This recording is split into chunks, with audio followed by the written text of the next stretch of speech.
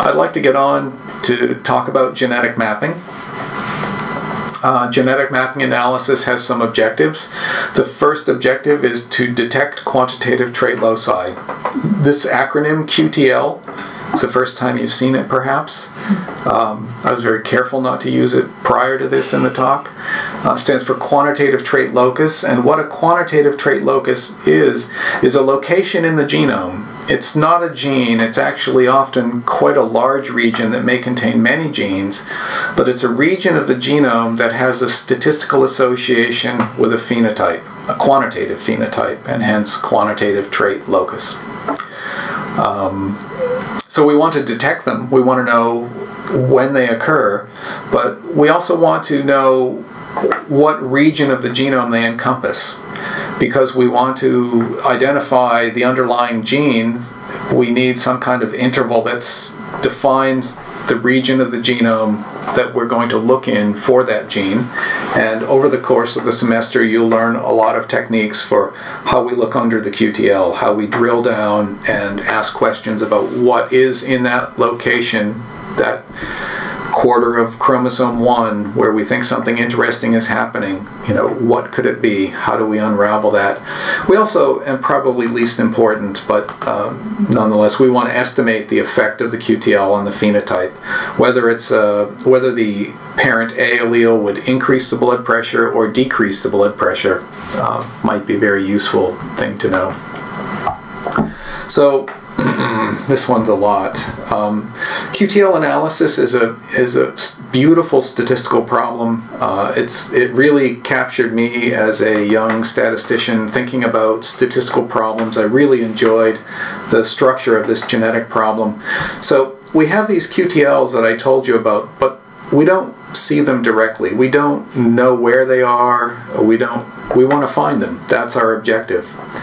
What we can see, however, are markers, which are locations in the genome that have genotype data, and phenotypes. And I'll also mention that we may see covariates. These may be things like sex or batch, or mostly think sex, um, that could affect the phenotype in addition to the QTLs. So my diagram here shows the QTL affecting the phenotype with a directed arrow. We're going to talk about these later, but I'm implying that the gene causes the phenotype. I bet you can all buy that. Um, it hasn't always been obvious that it works that way, but the gene affects the phenotype and not the other way around. The fact that you have high blood pressure does not change your DNA, but the fact that there's a difference in your DNA could affect your blood pressure. So there's a directed causal relationship the QTL and the markers are going to be physically linked because they're on the same chromosome, and somewhere in the genome there's going to be a marker that's near the QTL, and that's pretty important. And because of this linkage, when we look at the marker, it may appear to be associated with the phenotype. Even though the marker itself, which is just some anonymous location in the, in the DNA, isn't actually the cause of the phenotype, because it's physically linked to the QTL, we see this spurious association. The marker can be statistically associated with the phenotype, and that's the key to mapping. I'll talk in, in a minute about the linkage part of the model, which is the QTL marker part of the model, and I'll talk a lot about the phenotype model, which is how we relate the phenotype to the QTLs and the covariates. This notation just says uh, there's some probability of the QTL genotype given that I know the markers, and this one says that there's some probability distribution of the phenotype given that I know the QTL genotype and the covariates. So we're going to break the problem up into these two pieces. It rather neatly separates. So I'm going to try to describe this in the context of a specific example of a study. This is a blood pressure study where we did a back cross, and the back cross had a B strain which was crossed to an F1 from a B by A cross. I'd like to point out that the paternal grandmother is B. In a mouse cross, we always write the female on the left so the female parent of the cross is B, the male parent is an F1, and the parents of that F1 were B by A, B being the mother, hence the paternal grandmother B. 250 male mice, uh, we fed them a high salt diet just to drive uh, the blood pressure a little harder. This is a, a reference to the study, the authors, the year it was published, the title, uh, the journal. You'll see these again. In case you're wondering how you take the blood pressure of a mouse, here's a picture. Uh, these hands, I should say, these hands are Hiro Sugiyama. It takes a special touch and a special person to measure the blood pressure of a mouse. Mice like to be in nice dark enclosures where they can peek out. So the, there's a special enclosure that goes on top of the mouse. It has a uh, little hole for his nose to peek out. And here the tail is um, enclosed in a blood pressure cuff, just like the thing that would go over your arm if you were in the doctor's office. This has a literally a clown balloon inside it that inflates and deflates about 100 times over the course of a minute, and we get a, a blood pressure um, measurement. You can bet this is a pretty noisy technique. Um, at the time, it was state of the art. It's still pretty good, um, but it is noisy. But it gives us a quantitative measure of blood pressure. Having measured the blood pressure of uh, 250 animals um, from my A by B cross, the the ranges of the A and B parents are shown up above, and they're not that tight, but there they are. The the blood pressures of the 250 back cross animals can be shown as a histogram, and they range from about 85 to about 130 millimeters of mercury. Pretty pretty consistent with human. If you look at the heart rates, that might be different, but the blood pressure is comparable to a human blood pressure. There's a range. We know it's genetic, and uh, there's not really much else you can say now, is there? There's a range of blood pressures. Okay. But if you look at that histogram for a moment, and I'm going to say that it's just an artifact of the way that the histogram was binned, but you can al almost imagine that there are two peaks. It's almost like there's a low group and a high group.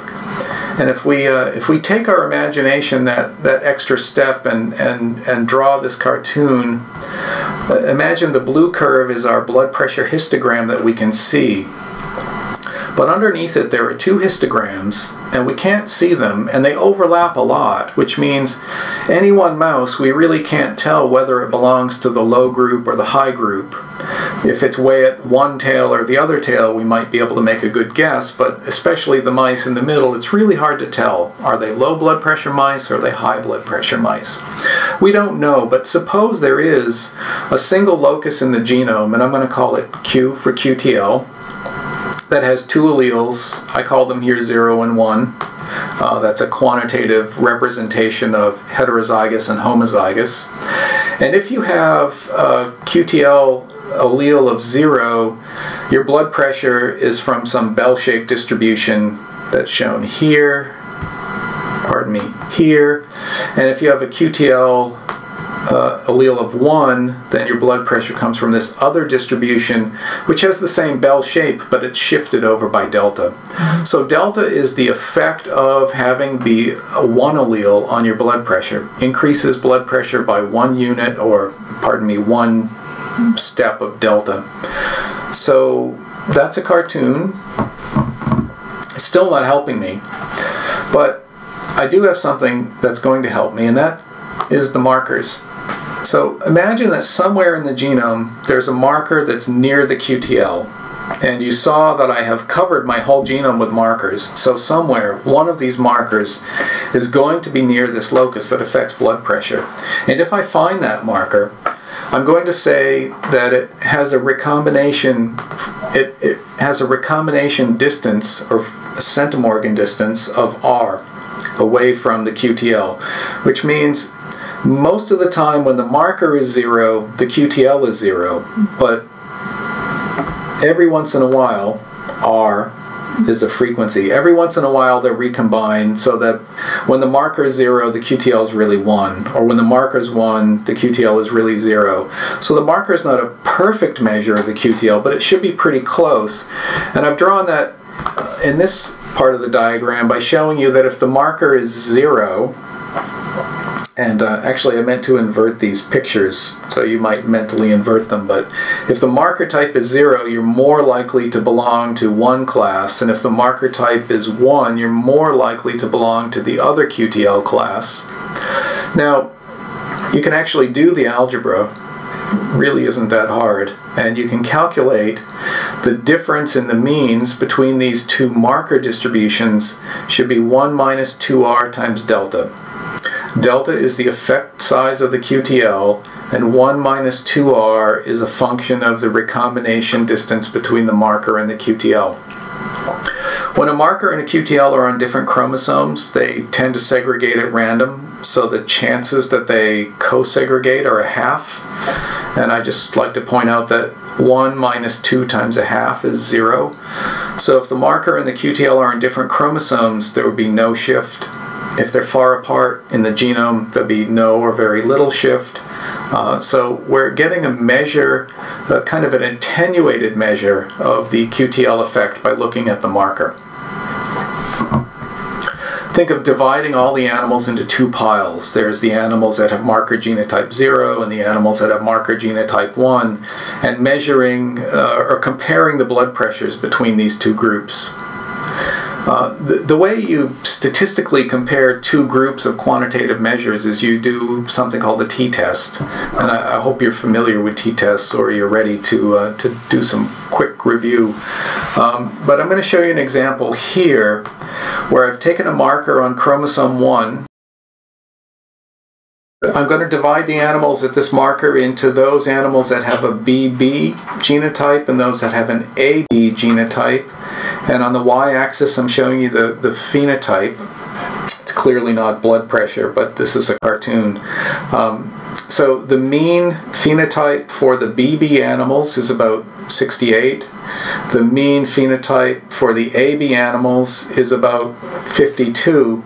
And even though there's a lot of overlap between these two classes, they are statistically different. There's a statistically significant difference between the two groups that we can evaluate with the test, the t-test. If we hop over to another chromosome, chromosome 2, and we do the t-test, the overlap between the two distributions is really wide. There's very little difference in their means, so they're not statistically different. I would conclude that there is a QTL somewhere near this marker on chromosome 1, and there's no QTL on chromosome 2, at least not near that marker. If I were to even speculate a little boldly, I might think that these animals in the BB group that have low phenotypes and maybe this animal in the AB group that has a high phenotype. These might be animals where there was a recombination between the QTL and the marker. So at the marker, I know their genotypes, but at the QTL, the marker is not a perfect representation, so there can be some misclassification here. Mm -hmm. That's a bit of a subtlety. The point is that I could go through all my markers one at a time. I could look at each of them and I could do a t-test and I could find those markers that are linked to the QTL this way.